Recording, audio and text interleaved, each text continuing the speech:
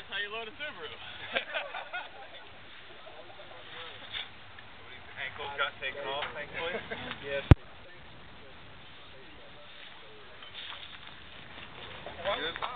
covered up with the back drop. Don't worry about that. Yeah.